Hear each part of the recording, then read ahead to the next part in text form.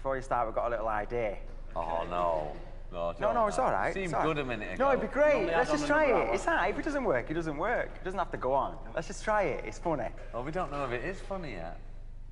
But we'll, Yeah, we'll, we won't- but we'll now see. we're going to do a false laugh when he does it. That's right, yeah, because you've No, it's already not. heard it.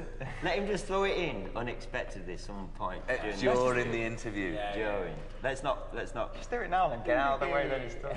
He's got all scared now. Eh? Spotlight's on Because I you. really wanted to work. It's been brilliant.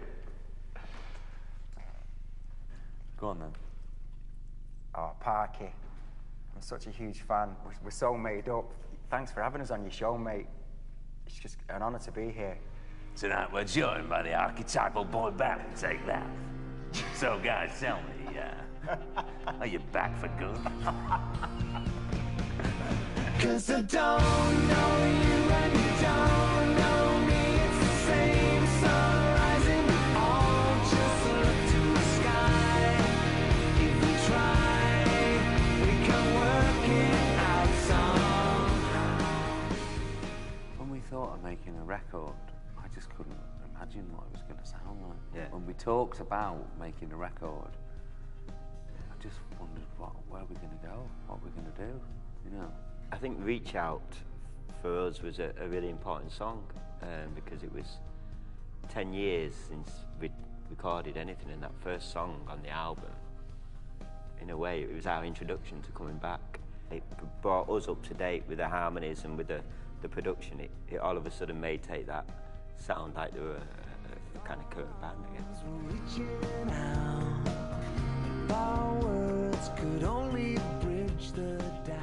But what was interesting, I thought, is that some days I'd come in the studio and I'd hear the backing track and I'd think, oh, this doesn't sound like us at all. I can't imagine this. And then you'd have some lunch or something and there'd be some backgrounds go on there. And you'd come back in and you'd go, oh, this sounds like us now. Hmm. So it's really the, the vocals that give, Give it the sound. give it our sound. Yeah. Especially my vocals. Yeah. Yeah, really, um, you know, finished it off nicely. You're a bit big-headed sometimes, aren't you? You know? what can you do? It was a nice day when we got Patience. I think we felt like we'd started Yeah. record and that come along. I think lucky for us, it came early. Yeah. Which meant we almost, because we had it and we'd played it to a lot of people at the label and they were really excited about it. I think it made us go, right, let's enjoy making music now. It, I think it really lifted a lot of the pressures you can have when you make a record. Yeah. So it's good we found that so early. when we were first approached um, to see whether we'd be interested in, in making a record, we had a break in the tour, do you remember, between the arenas and the stadiums. That's when we went in, isn't it? Went in the studio to write. No, no, no, it was before. Was Because, it? yeah, 'cause we, we were preempting that labels would be interested in us. we just had a go. Yeah. Yeah, we did. There's a place we used to be. There's a face we did. We got a couple of songs that we're we kind of play toying with, weren't we? We were trying different things, and it was the last song we wrote while we were in the studio, wasn't it? Um, you came in with a few piano chords, I remember, and we just started uh, playing around that and getting a bit of a melody and a feel for it. And Wait for Life was the first. What are you laughing at? You, you loved it, didn't you, Wait for Life? I remember uh, you. You still do, don't you? I remember whenever your ears prick up to something, it makes me interested because I know that you, you, you, you know what I mean. He really listens to music in a different way. I mm. think. Mm. Made me proud that that was wrote by the four of us as well. And I, I think I'm a bit of a sucker for the backing vocals, and I really that's probably my area of concentrating more on than anything on a song. And it's and the, the BVs in that are great. I remember when Gary went out once. I think you was having um, a massage somewhere or a singing lesson. And me and you were left in the studio on our own. We, we, we, and we, and we, we were just putting our own BVs on. We were doing all this stupid opera singing over the top of it. two hours I was gone for. I come back to this loop. I thought it was a, a good time to sort of, even beyond making music, it was about us being in a room together. That was the it, four of us, without anybody else. Yeah. Because we weren't having engineers or anybody in there. We were literally just taking up the room ourselves and just really messing around, weren't we? Making a racket. Took us about a week to turn it on, didn't it? where's, where's the on button? How does that work?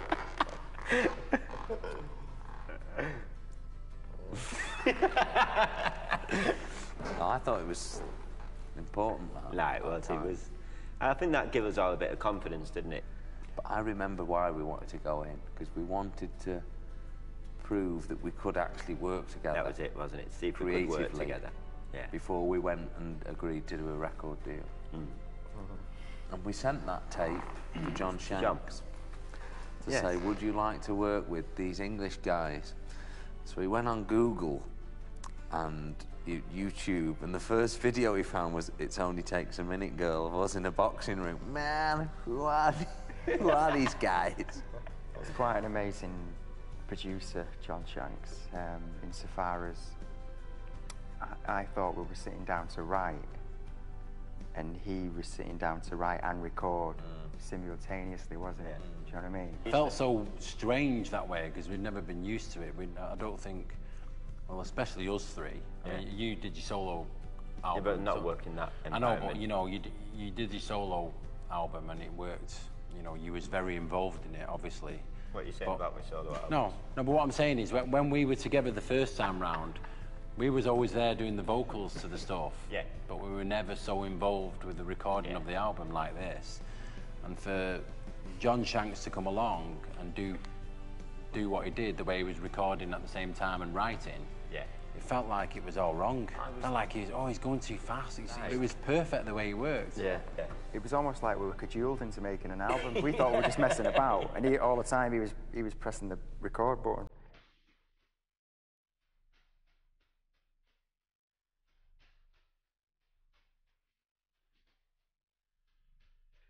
Shine was almost uh, forgotten about, wasn't it? But I think we all felt we needed some up tempo um, uh, and a slightly different style from some of the other tracks we'd done. And I remember I, I wasn't in for some reason, but I remember you phoning me and you were like, "Listen to this." And you, held, you, you must have held the phone up in the room. You were playing this like the backing track of Shine. I remember that day. I was trying to get in, you know, to get my voice on the track, and you you spent you must have been five hours singing that day, just doing harmony after harmony. Mm. It was brilliant. Yeah, it was a good experience for me as well, making sure that none of the other members had the backing vocals on it.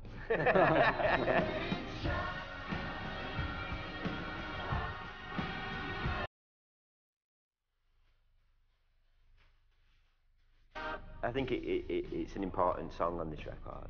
One of the questions we kind of asked is if we wanted to do something with more of a production, wasn't it? If we were going to tour again, what kind of song could we do that would, would work in that way? We were looking for Relight My Fire. Yeah, something that we could do a production to and do a bit of a, a, a performance to, a bit of a show to. Definitely turned around when it Shine from the beginning demo stage to the finished product. It kind of, like you said, it was kind of a lost track. It was kind of just there. Oh yeah, let's move that to the side. And then once the production went on it and the BVs That, and the that's piano, the point I got excited just about swap it. around in it. It became Once a John contender. started, you know, and all the background, I thought this is this is a take that classic. Started doing that guitar stuff. Yeah, yeah. Them little lit. And then when I put my backing vocals, job done, wasn't it? Job done. Sealed. Put the put the stardust on there, lovely. Sprinkle the stardust, love.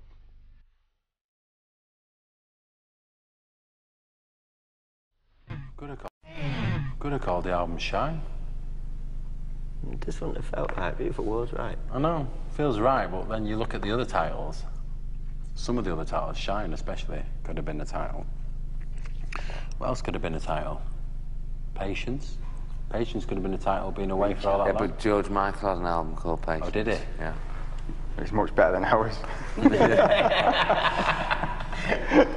No, actually, it was your, your idea, Howard, to call the album Beautiful World, if my memory serves me correctly. Yeah. We're having a Mr. It was an Whippy, weren't obvious. we, at the It was an obvious choice, though, isn't it? Remember? Mr. Whippy used to come past the studio, didn't he? Oh, that's right. He's He used to bring them in, and I'd go, not me, not me, and they'd be, oh, there's one spell, and go on there. and that's when you come up with the idea, of calling the album that. It was an obvious thing, though, wasn't it? When you got an ice Don't want cream to in take your credit hand. for that because it was a real obvious title, wasn't it? When you got an ice cream in your hand, it's a beautiful world, isn't it? Yeah, it is. Yeah, you say it's obvious, but, you know, it wasn't obvious to any of us. Take credit for it. Good idea. No, go on then. oh, go on. Yeah, but I think the uh, the sun will shine, we will see.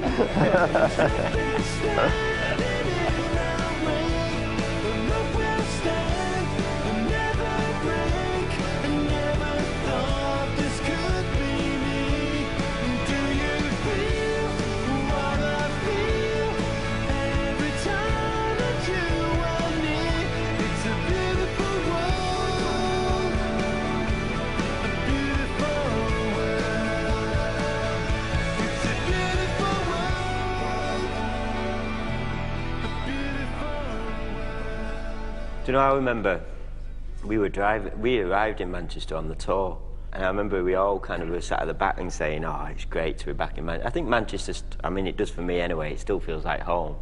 We always get excited about the Manchester gigs, don't we? Oh, it's the greatest gig to play, though, isn't it? You know, the home gig is the it's fantastic, and every single night is. Mm. A special place. Mancunian Way is it's the way in and out of Manchester as well. It's a double meaning, isn't it? Yeah. No, the Mancunian way. Yeah. The way of the Mancunian. And what was great was that our, our producer who was from LA. Just couldn't get it, could he? So, hey man, I love that Manchurian way. No, no, John, no, no. Manchurian. I think we're proud of. It's weird because for, for years I was breakdancing in Manchester. You know, I was listening to electro music and stuff, and I didn't get the, the whole indie thing at first when it happened. The swagger and the the way talk like that, you know. I don't know. There's there's a way to Manchester that people seem to be impressed by, and I wasn't. I thought it always seemed fake to me. You know, all the students clamoured to get into Manchester because it was suddenly a trendy city because of all these indie bands. And for me, it was just like home. And then they clambered right out when Take That were formed.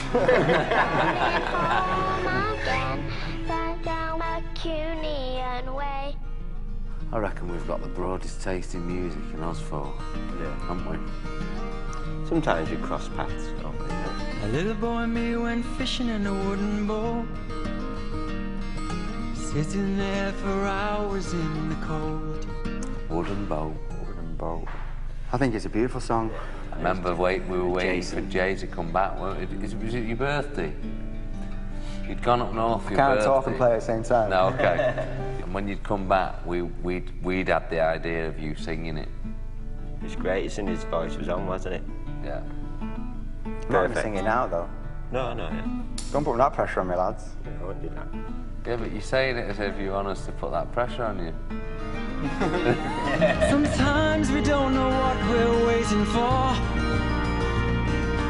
That's the time to be the first one on the dance floor. It was really nice that we made up a little storyline of this little boy growing up. And it felt like instantly the last track on the record, didn't it? How long this will last?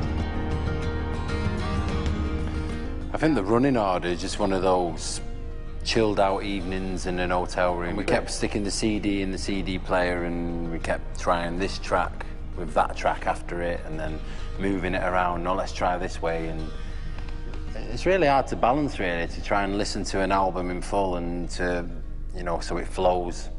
Um, but I think we did it. I think we did a good job of it. Where do you think? Where? Do, oh, that's me. that, isn't it? Is it? Yeah. Yeah, it's my phone that. So it actually makes a noise. your phone? Yeah, I've turned it on today. So when I ring you, it does no, it doesn't always. recognise? It doesn't always, but today. so you look and go, oh, God, that. Silence. Yeah. yeah, Mark's the hardest to get hold of on the phone, aren't you? I, am quite difficult. I think I'm better now. Have you noticed as well? Because I, I'm always early now. Have you noticed that changing you me do the get last back quicker. Yeah. It's usually only a day now. Yeah. Or he, he, gets back to you, does he? Uh, All oh, yeah. right, okay. Yeah. You never phone me. you never phoned me. You got a phone, Jay? you never phoned me. Salt. And I never know what number to call for you. You've got about 54 different phones. never know. When I put hours on, it's like six numbers. I'm like, oh, uh, that one.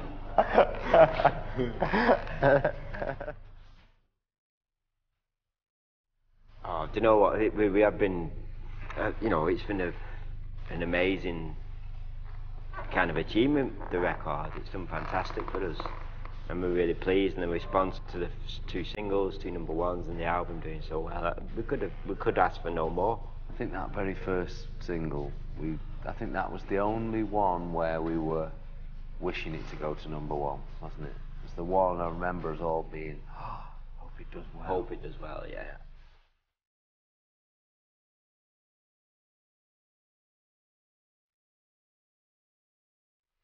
I think after that, everything else was bonus. Yes. Number one album, number one with Shine, DVD. Mm. Just to name but a few. no, but it was, wasn't it? Yeah. They were all just icing on the cake now.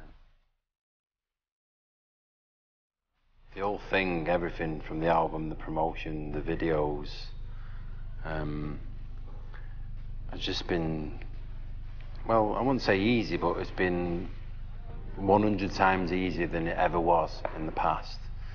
I mean, three of us have got children.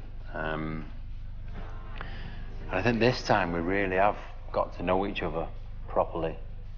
And we are, as much as anybody would like to think that we're not friends and we don't really see each other now after work, yeah, it's probably true to a certain extent. but we are very good friends, and when we're on the road doing videos or promotion, we really do talk to each other. No, we are really good friends. if we have to.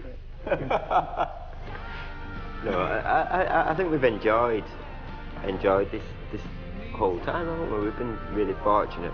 I think when you start getting, when you start putting a group like us, pop stars, I mean megastars, people expect you to be a member of Take That and be, you know, like um, like we once were but we've all grown up and we're as perplexed about the whole thing as, as anybody else, you know, and we're quite unique insofar as, you know, after 10 years getting back together again, you know I mean, reconciling what we once were with who we are now.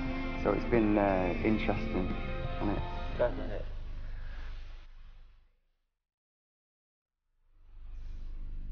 We, we didn't know we'd be here, did we really? I mean, we're just different to most other bands that come back for lots of different reasons. But first of all, we don't play instruments on stage. You know, we used to dance. So to come back and do that again was tricky, wasn't it? You know, performing live, how, how, like you say, how we're going to present our songs now we've written these songs, how best to present them and not look ridiculous. Um,